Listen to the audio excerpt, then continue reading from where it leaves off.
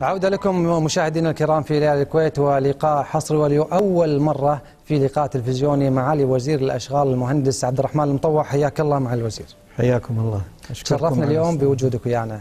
إحنا تشرفنا أكثر. سلمك. بالبداية تسمح لنا نسوي لقاء عادي ولا نستجوبك؟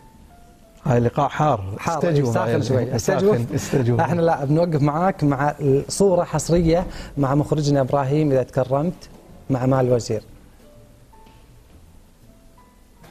هذه الصورة جايبها الأستاذ قاسم ويقول من 40 سنة ما ندري. آه يعني كبرتني شوي 40 سنة يعطيك بس يعني قريب من ال 40 سنة آه، بس ما أدري وين لقاها قاسم. أبو عمر. أبو عمر. من اللي وياك بالصورة مع الوزير؟ والله اللي بالصورة معي زملاء آه، زميل آه، يعني الأخ آه، أنور سلامة. واليم ال- الأخ عيسى الياس خدا عيسى عيسى خدادة. نعم. بعدين أنا صورتي بعدين آه، محمد الأستاذ. نوجه لهم تحية طبعا عبر شاشة تلفزيون دولة الكويت. آه نبي ندش إحنا في حوارنا. ونتكلم في مواضيع أكيد حقيبة وزارة الأشغال تحمل في جعبتها الكثير والكثير من المشاريع الضخمة. بداية مطار الكويت. بسم الله الرحمن الرحيم. يعني مطار الكويت آه، بحمد الله يعني بدينا العمل فيه من آه، يمكن آه، بدينا في 26 ديسمبر بدأ العمل الفعلي في المطار. طبعا المشروع وقع عقده وفترة الإنجاز حوالي ست سنوات. في كلام الآن إحنا يعني حوار إن شاء الله نبدأ قريبا مع الجهات المنفذة للتسريع في فترة الإنجاز. وهذا أنا أتوقع هدف لأن المطار أمر حيوي صحيح أن الفترة التعاقدية ست سنوات نعم. بس في توجه لنا أن نضغط ونخف ونقلل فترة الإنجاز قدر الإمكان. يعني إن شاء الله بيكون آه بالموعد المحدد يتم افتتاحها بإذن الله؟ بإذن الله بإذن الله. أن نحاول نب... نحاول أن يكون قبل الفترة الم- المحددة بإذن الله. نعم.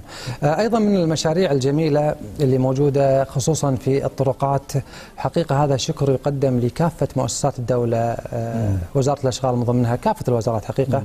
لما نشوف طريق الجهرة جمال عبد الناصر طرق وايد قاعد نشوفها مشاريع موجودة على أرض الواقع.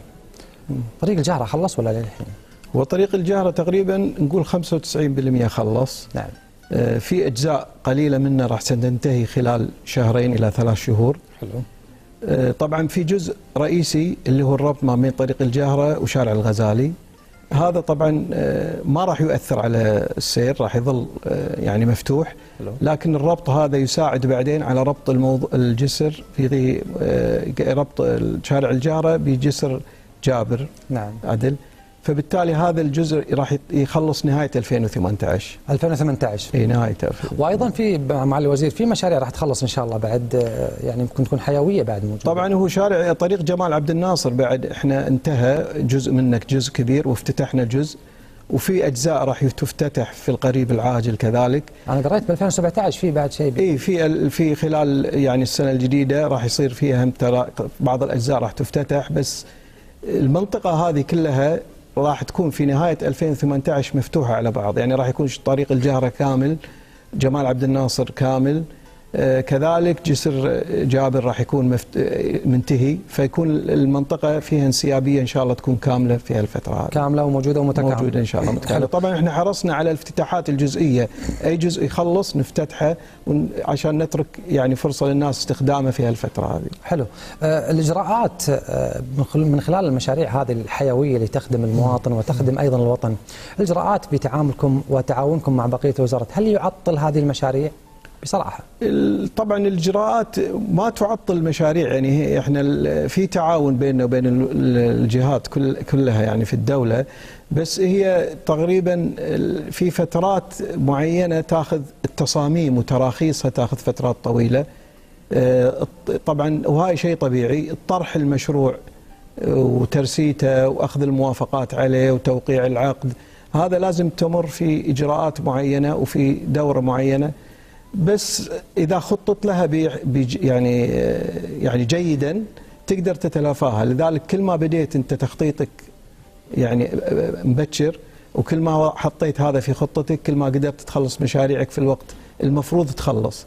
إحنا يمكن الفترة السابقة تأخرت وزارة الأشغال في في طبعا في طرح المشاريع وفي تنفيذها لذلك تأخر الاستفادة منها. بس الآن إحنا إن شاء الله مع يعني سرعة طرح المشاريع مع سرعة التنفيذ وانتلافها بعض التأخيرات اللي قاعد تصير قواكم الله مع الوزير أكيد قاعد نشوف إحنا يعني حتى المشاريع مم. على الصعيد الشخصي كمواطنين قاعد يستخدمون هذه الطرق اللي تم افتتاحها من قبل أو مم. تحت إشراف آه وزارة الأشغال مم. في قضية مع الوزير آه تؤرق حقيقة هاجس الشعب الكويتي مم. وهو الحصى المتطاير مم. ماذا عن هذا الموضوع والله هذه الحصى المتطاير حقيقة يؤرق يؤرقنا حتى إحنا يعني في وزارة الأشغال أو على الأخص أنا يؤرقني الموضوع. آه، إحنا اليوم نبي نحل المشكلة. آه، في عندنا خطة. آه، قعدنا مع أركان الوزارة في أكثر من اجتماعات مطولة. وضعنا خطة معينة لمعالجة كل طرق الكويت. نعم. الخطة يعني راح تكون يعني مصنفة صنفت طرق الكويت إلى ثلاث أنواع من الطرق. طرق يعني جيدة وطرق بحاجة إلى صيانة يعني وطرق سيئة جدا. سيئة جدا نعم. خطتنا راح تكون بداية في الطرق السيئه جدا بعدين الطرق اللي, اللي أقل سوءا بعدين نغطي وهالشكل راح نغطي كل طرق الكويت. يعني. سوينا الخطة آه، بالكامل آه، بانتظار كذلك عرضها على لجنة المرافق في مجلس الأمة لأنه كان طلب مناقشتها. وإن شاء الله بتعاون وزارة المالية معنا يعني يعني الآن في تواصل معاهم حتى تقرر الميزانيات المطلوبة ويبدأ بالعمل. طبعا هذه المشكلة أكثر من سبب لها. سبب راح نحاول تلافي كل الأسباب لهذا الموضوع في في في المشاريع القادمة.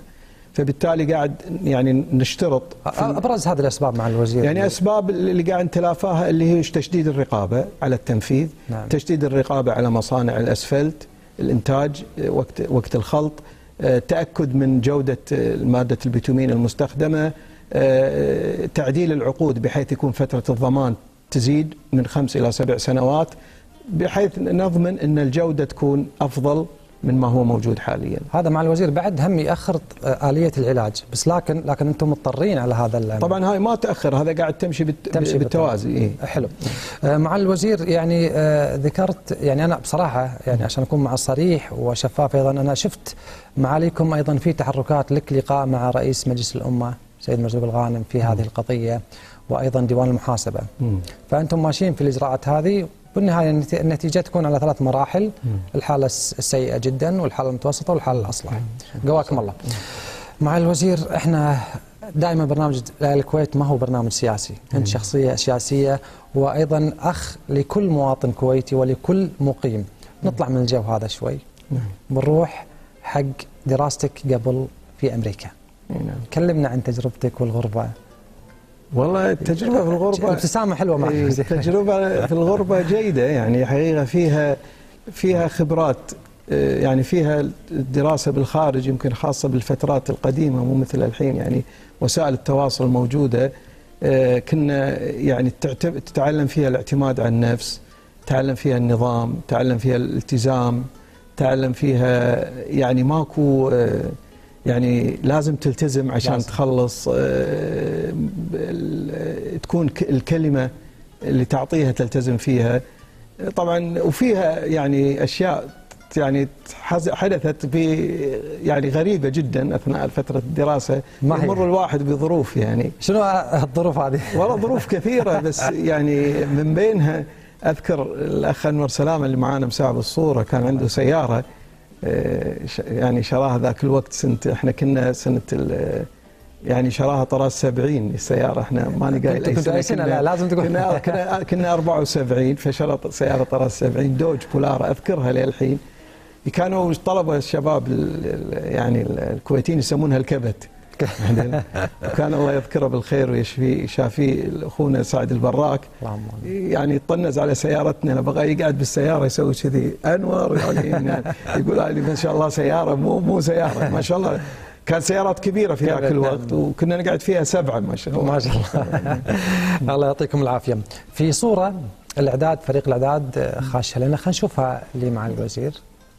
ما أدري هي أيام الدراسة بعد ولا هذه ما أيام الدراسه لا أيام الدراسه بعد زين مع الوزير أنت أي واحد بالضبط؟ أنت لازم تخمن على التعريف آه، لا أكيد نظارة. إي نظارة اللي القدام القدام إيه. ما شاء الله كشخة مع الوزير. من أيام الشباب ولا زلت ما شاء الله. الله يحفظك. هذه وين بالضبط؟ هذه إحنا هذه أول ما سافرنا كنا في ولاية ماساتشوستس في مدينة أعتقد إيستهامبتون مدينة صغيرة كان فيها مثل مدرسة آه، تعلمنا فيها اللغة لمدة شهر وبعدين التحقنا بالجامعة ما شاء الله عليكم. آه شو اللي تعلمته من الغربة هناك غير الالتزام خصوصا الأصدقاء اللي أنت رافقتهم في المرحلة الدراسية هل لا زلت متواصل معهم في الوقت الحاضر؟ اي في يعني بعض الأصدقاء ما زلت يعني ال- الأخ أنور سلامة الموجود معي آه، الدكتور أمير الحداد ما زال دكتور في جامعة الكويت بيني وبينه تواصل وفي إخوة كثيرين يعني.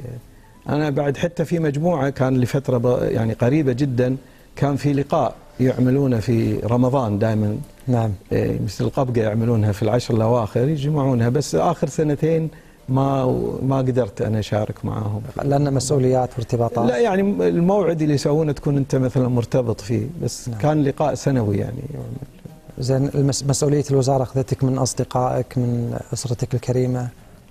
والله إحنا تونا بالوزارة شهر بعد ما الشهر جربنا. الشهر هذه بعد أيام الشهر هذا صح إذا الشهر هذا الشهر هذا. الشهر أخذنا بس أخذ- ان شاء الله من وقتك. الواحد يرتب برنامجه بحيث ما آه، مع الوزير أنت يعني مو يعني مو بعيد أو غريب عن آه، وزارة الأشغال أو المشاريع هذه كونك أنت أكاديمي في. آه، المعهد. الهيئة العامة للتطبيقي لما كنت في المعهد شنو المشروع اللي كنت تحسه تقول لو مسكت مسؤولية أو آه، شيء معين في دولة الكويت؟ مثلا وحقيبه وزارة الأشغال. شنو المشروع اللي كان ببالك تقدمه. وأنت الحين على رأس الهرم في آه، وزارة الأشغال. إيه، والله أنا المشروع اللي يعني استهوا يستهويني الآن بس مو كوزير أشغال أفضل أن أكون مدير مشروع. هو مشروع المطار. يعني مع الوزير يفضل ان يكون مدير مشروع, مشروع المطار, المطار. وليس إيه، وليس وزير, وزير الشغال. لأن يعني هذا النوع من المشاريع لا يتكرر. تاريخي يعتبر. تاريخي. تسويه مرة واحدة بالعمر. نعم. وأعتقد إن في خبرات راح تكون كبيرة. لذلك أنا أحث الشباب الكويتي اللي في وزارة الأشغال إن إن هذا المشروع سيتعلم منه الكثير. وهذه فرصة لأن في مستشار عالمي فوستر على مستوى العالم معروف ومعاه مجموعة من المستشارين العالميين. نعم. راح تكون خبرة كبيرة راح يكون تجربة ما تكرر آه، اللي يدخل فيها فعلا راح يزيد مخزونه الفني يعني. ما شاء الله. بس الحين المشروع كله كاملة كله تحت إشرافك أنت. طبعا فأنت المسؤول. فرق, فرق بين الإشراف وفرق بين معالجة المشروع يوميا بمشاكله وحل مشاكله الفنية. إذا وجدت وعقد اجتماعات لأن تدري مشاريع مثل الحجم لازم تحدث مش مشاكل بالتنسيق اي أي عمل يبدأ قبل الثاني كيف تسوي البرنامج. هذه هي الخبرة اللي يعني تبدأ يبدأ فيها المهندس المبتدئ إلى أن يصبح مدير مشروع يعني حلو. كل كل وزير السياسة اللي أو السياسة المعتادة إن كل وزير يستلم حقيبة وزارة يغير سياسة الوزير اللي سبقه. آه المهندس عبد الرحمن المطوع في سياسة تغييريه للوزاره أنا مو مركز على تغيير السياسة يعني اللي هو تغيير آه، الأشخاص أو تغيير السياسة. أنا مركز على أهداف.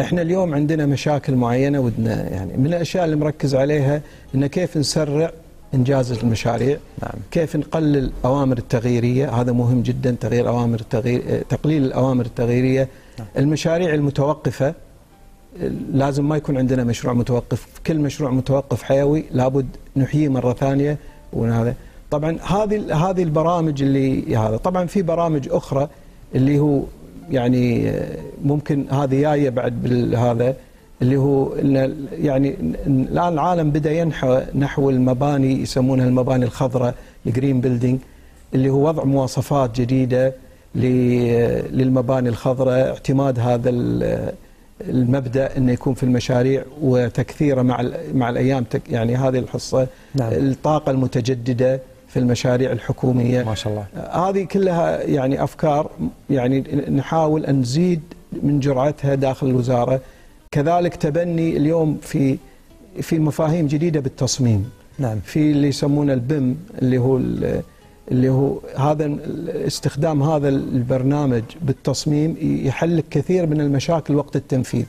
بحيث إن ال- ال- المشروع كله آه، بعدين كل معلوماته تطلع من خلال ال- ال- البرنامج هذا محسوبة كمياته بالضبط نعم. ما في خلاف عليها إذا في تعارض ما بين مخططات معينة يحلها لك هذا البرنامج فبالتالي يسهل من عملية بعدين فترة التنفيذ نعم. ويقلل من الأوامر التغييرية. حلو. معالي الوزير آه، الأشغال العامة المهندس آه، عبد الرحمن مطوع كل الشكر لك على وقتك وتواجدك معنا وشرفتنا الله يسلمك وحياكم الله وأنا يعني سعيد إن اليوم أول لقاء لي مع تلفزيون الكويت. نتشرف طال عمرك. طبعا هذا كان لقاء حصري ولأول مرة لمعالي وزير الأشغال العامة المهندس عبد الرحمن مطوع نطلع فاصل وراجعين لكم مع ضيوف رائعين ومميزين.